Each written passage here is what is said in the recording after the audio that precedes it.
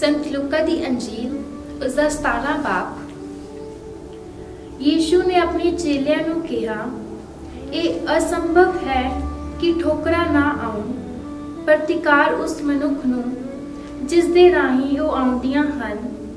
ਇਹਨਾਂ ਛੋਟੀਆਂ ਵਿੱਚੋਂ ਕਿਸੇ ਇੱਕ ਦੇ ਲਈ ਜੋ ਪਾਪ ਦਾ ਕਾਰਨ ਬਣਦਾ ਹੈ, ਉਸ ਦੇ ਲਈ ਇਹ ਬਿਹਤਰ ਹੁੰਦਾ ਕਿ ਉਸ ਦੇ ਗਲੇ ਵਿੱਚ ਚੱਕੀ ਦਾ ਪੁੜ ਬੰਨ ਕੇ ਉਸ ਨੂੰ ਸਮੁੰਦਰ ਵਿੱਚ ਸੁੱਟ ਦਿੱਤਾ ਜਾਂਦਾ।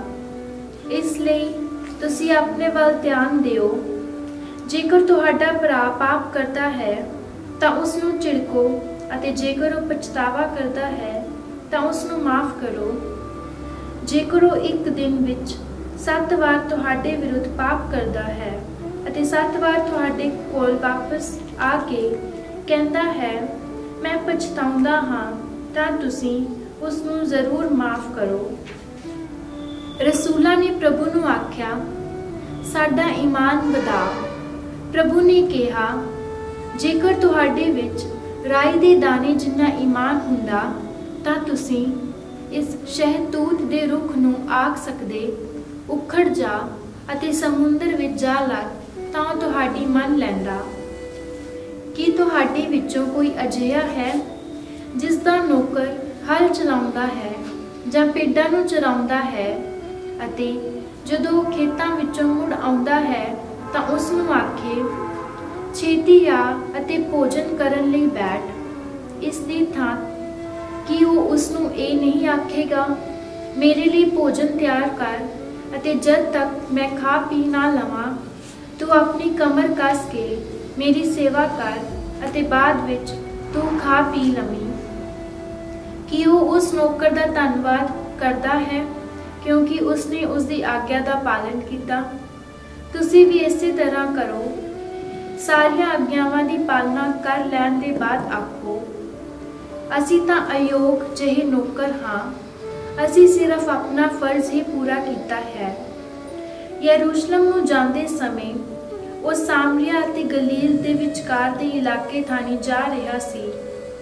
ਜਦੋਂ ਉਹ ਇੱਕ ਪਿੰਡ ਵਿੱਚ ਦਾਖਲ ਹੋਇਆ, ਤਾਂ 10 ਕੋੜੀ ਉਸ ਨੂੰ ਮਿਲੇ, ਜਿਨ੍ਹਾਂ ਨੇ ਦੂਰ ਖਲੋ ਕੇ ਉੱਚੀ ਆਵਾਜ਼ ਨਾਲ ਕਿਹਾ, ਯੀਸ਼ੂ, ਮਾਲਕ, ਸਾਡੇ ਉੱਤੇ ਦਇਆ ਕਰ। ਉਸਨੇ ਜਦੋਂ ਉਹਨਾਂ ਨੂੰ ਵੇਖਿਆ, ਤਾਂ ਕਿਹਾ, ਜਾਓ ਅਤੇ ਆਪਣੇ ਆਪ ਨੂੰ ਕਹਿਣਾ ਨੂੰ ਵਿਖਾਓ ਜਾਂਦੇ ਜਾਂਦੇ ਉਹ ਸ਼ੁੱਧ ਹੋ ਗਏ। ਤਦ ਉਹਨਾਂ ਵਿੱਚੋਂ ਇੱਕ ਇਹ ਵੇਖ ਕੇ ਕਿ ਉਹ ਚੰਗਾ ਹੋ ਗਿਆ ਹੈ। ਉੱਚੀ ਆਵਾਜ਼ ਨਾਲ ਖੁਦਾ ਦੀ ਵਡਿਆਈ ਕਰਦਾ ਮੁੜ ਆਇਆ। ਉਹ ਯੀਸੂ ਦਾ ਧੰਨਵਾਦ ਕਰਦੇ ਹੋਏ ਮੂੰਹ ਪਰਨੇ ਉਸਦੇ ਚਰਨਾਂ ਤੇ ਡਿੱਗ ਪਿਆ। ਉਹ ਇੱਕ ਸਾਮਰੀ ਸੀ। ਤਦ ਯੀਸੂ ਨੇ ਕਿਹਾ ਕਿ ਦਸੇ ਆਦਮੀ ਸ਼ੁੱਧ ਨਹੀਂ ਹੋਏ। ਫਿਰ ਬਾਕੀ ਦੇ ਲੋਕ ਕਿੱਥੇ ਹਨ? ਕਿ ਇਸ ਪਰਦੇਸੀ ਤੋਂ ਇਲਾਵਾ ਕੋਈ ਹੋਰ ਅਜਿਹਾ ਨਹੀਂ ਮਿਲਿਆ ਜੋ ਖੁਦਾ ਦੀ ਵਡਿਆਈ ਕਰਨ ਲਈ ਮੁੜ ਆਉਂਦਾ। ਫਿਰ ਯੀਸੂ ਨੇ ਉਸ ਨੂੰ ਕਿਹਾ, ਉੱਠ ਅਤੇ ਆਪਣੇ ਰਾਹ ਜਾ। ਤੇਰੀ ਈਮਾਨ ਨੇ ਤੈਨੂੰ ਚੰਗਾ ਕੀਤਾ ਹੈ। ਇੱਕ ਵਾਰੀ ਫਰੀਸੀਆਂ ਦੇ ਪੁੱਛਣ ਤੇ ਕਿ ਖੁਦਾ ਦਾ ਰਾਜ ਕਦੋਂ ਆਵੇਗਾ, ਉਸਨੇ ਉਹਨਾਂ ਨੂੰ ਉੱਤਰ ਦਿੱਤਾ, ਖੁਦਾ ਦਾ ਰਾਜ ਉਸ ਤਰ੍ਹਾਂ ਦੇ ਨਿਸ਼ਾਨਾਂ ਨਾਲ ਨਹੀਂ ਆਉਂਦਾ। ਜੋ ਵੇਖੇ ਜਾ ਸਕਣ, ਨਾ ਹੀ ਲੋਕ ਕਹਿਣਗੇ, ਵੇਖੋ, ਉਹ ਇੱਥੇ ਹੈ ਜਾਂ ਉਹ ਉੱਥੇ ਹੈ, ਕਿਉਂਕਿ ਵੇਖੋ, ਖੁਦਾ ਦਾ ਰਾਜ ਤੁਹਾਡੇ ਵਿੱਚ ਹੈ।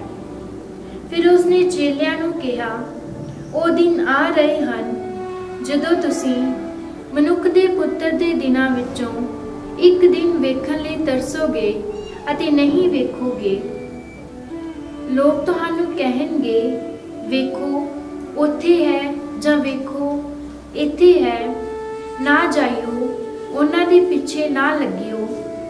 ਕਿਉਂਕਿ ਜਿਸ ਤਰ੍ਹਾਂ ਬਿਜਲੀ ਚਮਕਦੀ ਹੈ ਅਤੇ ਇੱਕ ਪਾਸਿਓਂ ਦੂਜੇ ਪਾਸੇ ਤੱਕ ਆਕਾਸ਼ ਨੂੰ ਰੋਸ਼ਨ ਕਰਦੀ ਹੈ, ਉਸੇ ਤਰ੍ਹਾਂ ਮਨੁੱਖ ਦਾ ਪੁੱਤਰ ਆਪਣੇ ਦਿਨ ਵਿੱਚ ਹੋਵੇਗਾ। ਪਰ ਪਹਿਲਾਂ ਉਸ ਨੂੰ ਬਹੁਤ ਕੁਝ ਸਹਿਣਾ ਅਤੇ ਇਸ ਪੀੜ੍ਹੀ ਵੱਲੋਂ ਰੱਦ ਕੀਤੇ ਜਾਣਾ ਜ਼ਰੂਰੀ ਹੈ।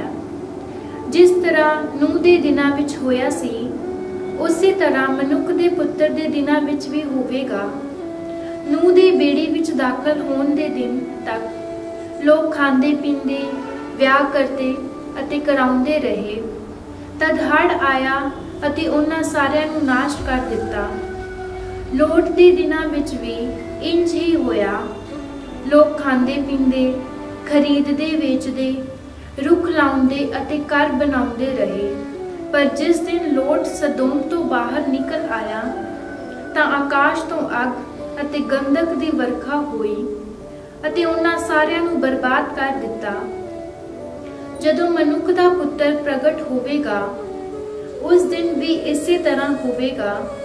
ਉਸ ਦਿਨ ਜੋ ਕੋਠੇ ਉੱਤੇ ਹੋਵੇ ਅਤੇ ਉਸ ਦਾ ਸਮਾਨ ਅੰਦਰ ਘਰ ਵਿੱਚ ਹੋਵੇ, ਤਾਂ ਉਹ ਉਸ ਨੂੰ ਲੈ ਜਾਣ ਲਈ ਥੱਲੇ ਨਾ ਉਤਰੇ।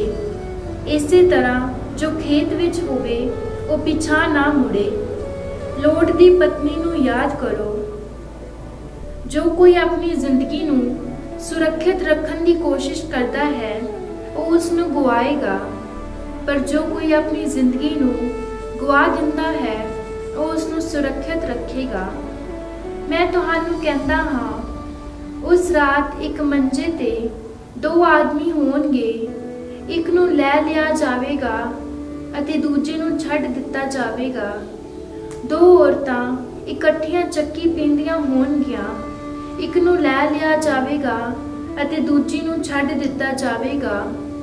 ਲੋਕਾਂ ਨੇ ਉਸ ਨੂੰ ਪੁੱਛਿਆ, ਕਿੱਥੇ ਪ੍ਰਭੂ?